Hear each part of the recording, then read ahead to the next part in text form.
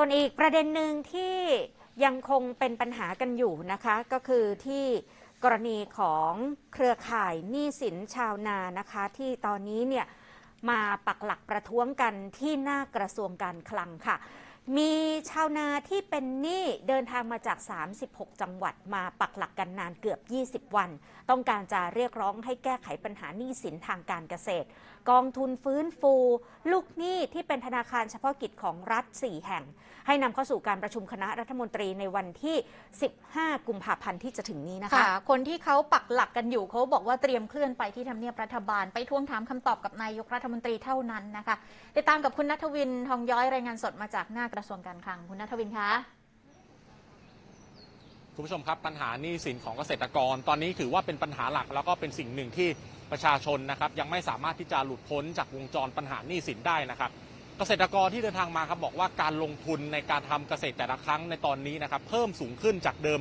2-3 เท่าตัวขณะที่รายได้ค่อนข้างที่จะสวนทางกับการลงทุนนะครับ พวกเขาบอกว่านี่คือเหตุผลแล้วก็ปัจจัยในการออกมาเรียกร้องกับรัฐบาล ให้มีการหาแนวทางการแก้ไขปัญหานี้อย่างเป็นระบบระเบียบมากกว่านี้ครับ ที่บริเวณหน้ากระทรวงการคลังนะครับ ที่บริเวณถนนพระราม 6 บริเวณเรียบคลองเครือข่ายหนี้สินชาวนาแห่งประเทศไทยจาก 36 จังหวัดปักหลักเพื่อเรียกร้องให้แก้ไขปัญหาหนี้สินทางการเกษตร กองทุนฟื้นฟู ลูกหนี้ธนาคารรัฐ 4 แห่งเป็นวันที่ 18 แล้วนะครับ โดยเริ่มตั้งแต่วันที่ 24 มกราคมที่ผ่านมาครับหลังเคยมาเรียกร้องครั้งล่าสุด เมื่อเดือนตุลาคมปี 2562 ข้อเรียกร้องก็คือให้สถาบันการเงินเจ้าหนี้ชะลอการฟ้องบังคับคดียึดทรัพย์ ขายทอดตลาดทรัพย์สินของสมาชิกนะครับแล้วก็เร่งดำเนินการโอนหนี้สินเข้าสู่กระบวนการจัดการหนี้สินของสำนักงานกองทุนฟื้นฟู แล้วก็การพัฒนาเกษตรกร พร้อมกับขยายเพดานวงเงินการซื้อหนี้ NPA จาก 2.5 ล้านบาท ขยายเป็น 5 ล้านบาทนะครับแล้วก็เสนอเข้าที่ประชุมของคอรมอครับ แล้วก็ข้อ2ก็คือขอให้มีการปลดหนี้ให้กับเกษตรกรสมาชิกกฟกกรณีที่ตายพิการหรือว่าทุพพลภาพ ชราภาพเจ็บป่วยเป็นโรคนะครับ เหลือไม่เกิน 25%ตามพรบกองทุนฟื้นฟูและพัฒนาของเกษตรกรครับ แล้วก็ขอให้มีการตรวจสอบปัญหาการทุจริตคอร์รัปชันพร้อมกับปฏิรูปการบริหารงานของสำนักงานกองทุนฟื้นฟู และพัฒนาเกษตรกร ในกรณีขึ้นราคาพืชผลการเกษตรนะครับ แล้วก็มีการถูกลงกว่าทุกวันนะครับ แต่ว่าราคาปุ๋ยกลับแพงขึ้นนะครับ ผมได้พูดคุยกับนางปิ่นแก้วแก้วสุขแท้ครับเป็นผู้ประสานงานของเครือข่าย บอกว่าตอนนี้เกษตรกรที่มาปักหลักอยู่บริเวณหน้ากระทรวงการคลังนะครับ มีอยู่ประมาณ 300 คนครับ จากพื้นที่ภาคเหนือตอนล่างไล่ลงมาจนถึงจังหวัดประจวบคีรีขันธ์เกษตรกรรายย่อยแต่ละคนที่เดือดร้อนนะครับ เฉลี่ยมินิในการทำเกษตรประมาณครัวเรือนละ 2 0 0 0 0 0 บาทครับ แต่ว่าไม่สามารถที่จะปิดต้นได้นะครับ ใช้ได้แต่ดอกเบี้ยทำเกษตรแล้วก็ไม่มีกำไรครับ ยิ่งตอนนี้การลงทุนสูง ปุ๋ยราคาเพิ่มกว่า 2 เท่าตัว ข้อเสนอที่บอกไปก็ยังไม่มีความคืบหน้ารอเข้าที่ประชุมคอรมอนะครับ ก็มีการรอมานานหลายสัปดาห์แล้ว เดี๋ยววันจันทร์นี้นะครับก็จะไปหน้าทำเนียบรัฐบาลนะครับ อยากจะไปฟังคำตอบกับนายกรัฐมนตรี แล้วก็รอเข้าที่ประชุมคอรมอวันอังคารหน้าด้วยครับ เราก็คงจะนนั่งรออยู่นิ่งๆ ไม่ได้แล้ว เพราะมันหลายอาทิตย์แล้วที่เรามานั่งรออยู่เนี่ยเราก็เลยเลยคุยกันมีมติกันว่าเราจะเคลื่อนไปทำเนียบในเช้าวันจันทร์ พื่อไปไปทวงถาม ไป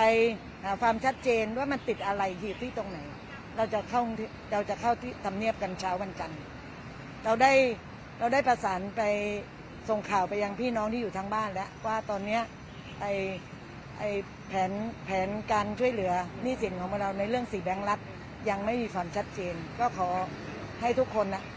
เข้ามาเพื่อเราจะไปทำเนียบกันวันจันทร์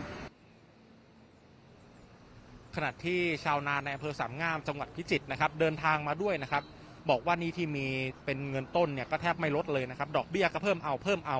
ขอคนที่ดูแลเรื่องนี้นะครับ แก้ไขปัญหาเรื่องนี้หน่อยครับ เพราะว่าตนเองจะไปทำอาชีพอื่นก็ไม่ได้น้อยใจเหมือนกันนะครับ ที่ปัญหานี้ยังไม่ได้รับการแก้ไขจากคนที่มีอำนาจครับ แล้วเราคาดหวังว่าเขาจะแก้ไขปัญหาให้เราได้นะครับเพราะมาหลายรอบแล้วก็ยังไม่รู้เหมือนกันว่ายังไงเลย เขายังไม่มีคำตอบอะไรให้เราเลยอะอยากฝากอะไรถึงคนที่เขารับผิดชอบเรื่องนี้อยากจะขอให้ช่วยอยากจะขอให้เขามาช่วยดูช่วยแก้ไขให้มั่ง ถ้าไม่เดือดร้อนจริงเราก็จะไม่มากันเลยเพราะมามันก็ไม่ใช่ว่าสบาย ทางนี้กระบวนการที่จะให้การช่วยเหลือได้นะครับ ก็คือการผ่านการพิจารณาจากหน่วยงานที่เกี่ยวข้องนะครับ มาแล้วตั้งแต่วันที่ 2 เมษายน 2564 ครับ แต่จนถึงเดือนธันวาคมปี 2564 ก็ยังไม่เข้าที่ประชุมคณะรัฐมนตรีนะครับ จึงเป็นที่มาให้การรวมตัวอยู่ที่บริเวณหน้ากระทรวงการคลัง อย่างไรก็ตามนะครับ คาดว่าจะถูกผลักดันเข้าคอรมอในวันที่ 15 กุมภาพันธ์นี้ครับซึ่งถ้าเรื่องนี้เข้าที่ประชุมคอรมอแล้วนะครับ แล้วก็สมาชิกกองทุนฟื้นฟูใน 30,000 ราย ได้รับการช่วยเหลือเรื่องการเซ็นสัญญาใหม่ ทางกลุ่มเครือข่ายที่มาปักหลักก็จะเดินทางกลับทันทีครับ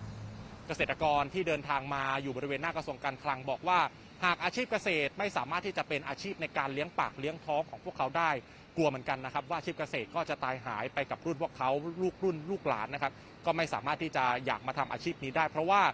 ยิ่งทำก็ยิ่งเป็นหนี้ครับค่ะขอบคุณค่ะ